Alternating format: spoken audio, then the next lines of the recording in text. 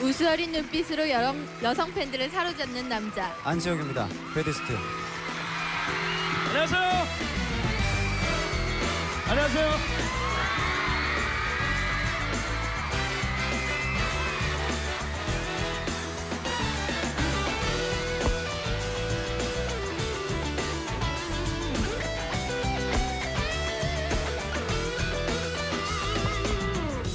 이상 내겐 아무 말도 하지 마.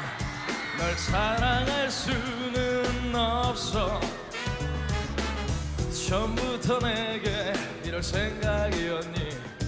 왜 다시